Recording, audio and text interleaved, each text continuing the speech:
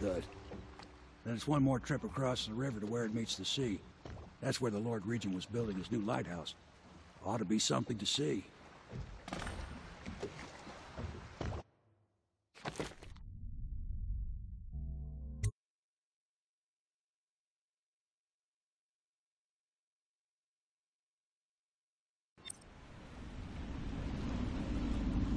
This is it, sir.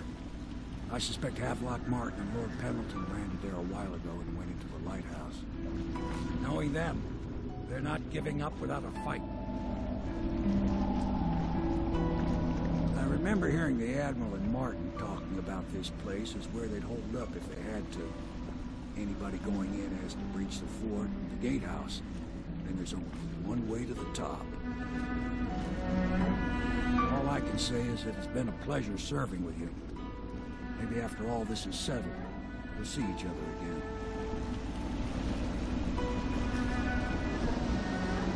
Good luck, Corvo. If anyone deserves it, you do. Give my best to Emily. After she's on the throne, she won't have time for an old man like me. I knew you were sharp, Corvo.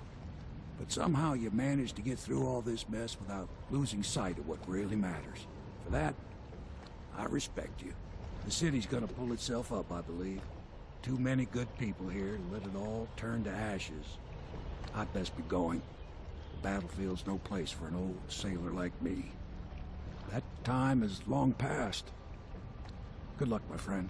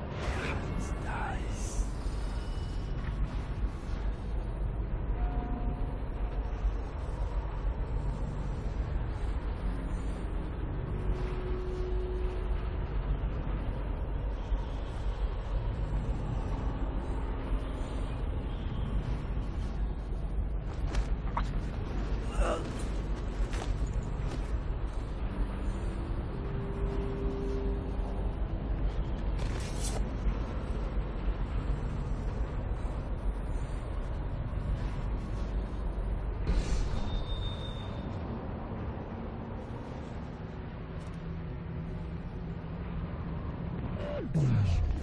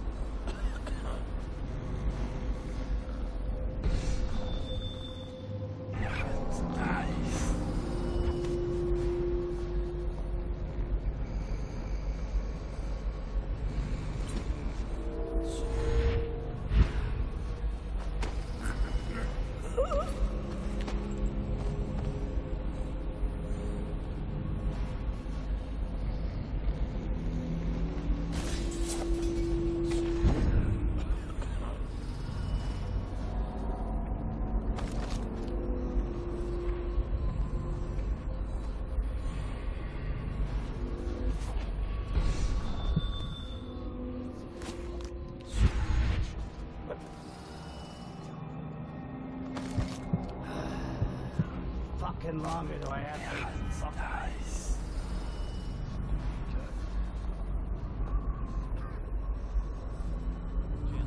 Better make a pass over here. What a bunch of stupid bastards. They picked the wrong side of this fight. I can't even tell who's on the right side of this one. Looks pretty clear from where I'm standing. I don't think anyone knows what happened. We saw the little girl, I mean the Empress, go through the gatehouse and into the lighthouse proper. Then we heard the shots. Then we rushed the gatehouse, but it's sealed up. What makes us right them wrong? I didn't mean wrong. Who cares about that? I meant like, like the cannon we're bringing up has a right end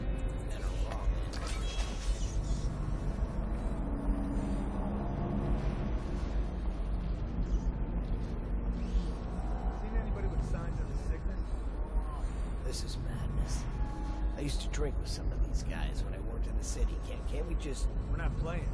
This is for the Empire.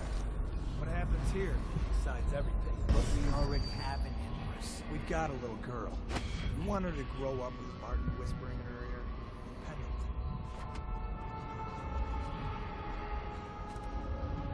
Pendant.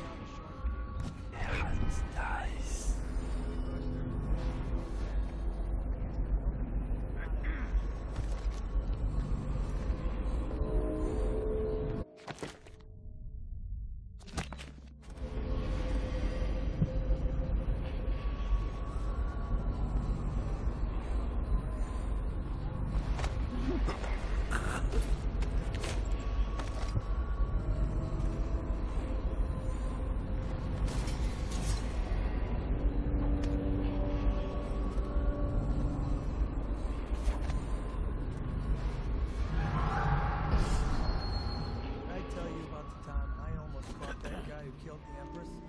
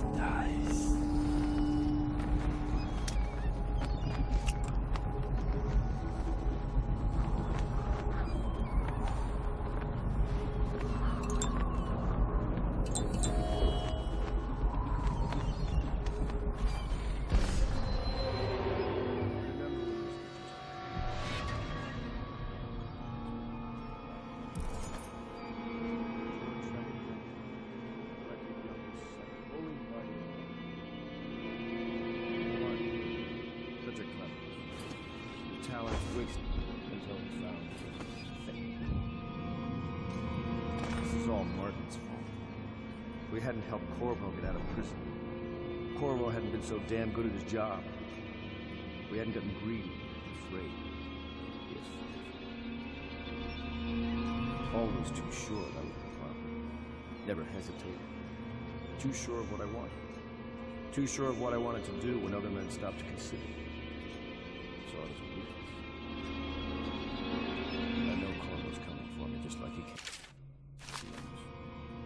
Crossing the island below, I done such things. Cowardly things I I'm made ashamed of. of. Um, how could anyone ever forgive us? Would they? Even if things are better? No, no, that's not how it works. Once the bureaucrats step in, everything gets I went to muddy. If anyone ever knew, we'd all lose our heads for this. English men into No one can know. Made a collective Did boat. we ever control Emily and Corvo around? Then founded a company. Did you think I'd fight you, Corvo? We need to make Sorry to disappoint. We No loose. Only a few This with is a nose. The key The to Emily's cell. She'll be glad to see you. You made quite an impression on her. Did you know that? She asked about you constantly. Where you were, what you'd been doing. I told her. In the end, I told her everything. From the start, when we had such noble goals in mind, to the end, when we were afraid, fighting in secrecy about who we could trust and who we had to kill, arguing over who would act as new Lord Regent. And she listened, eyes wide. She's become an interesting girl. If she lives, she'll make a memorable empress. Go ahead. Kill me or take me to Coldridge Prison. Make your choice. She'll be watching.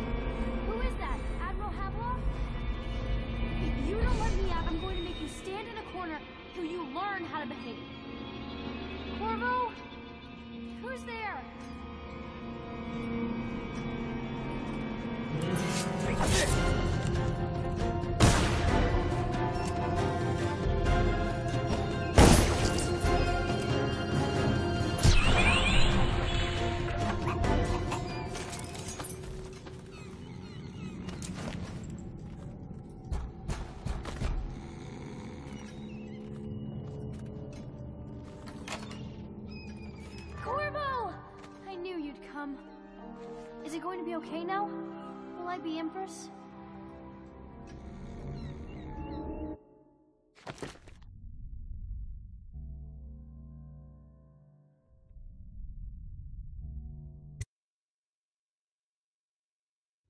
So ends the interregnum, and now Emily Kaldwin First will take her mother's throne after a season of turmoil.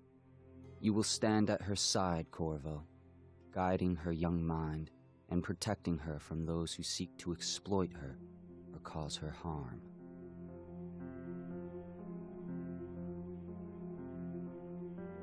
You watched and listened when other men would have shouted in rage.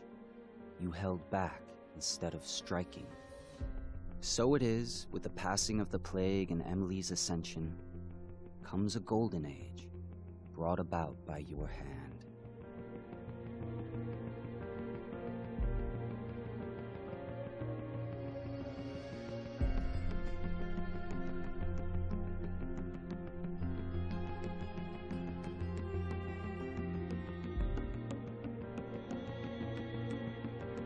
Decades hence, when your hair turns white and you pass from this world, Empress Emily, Emily the Wise, at the height of her power, will lay your body down within her mother's great tomb, because you are more to her than royal protector. Farewell, Corvo.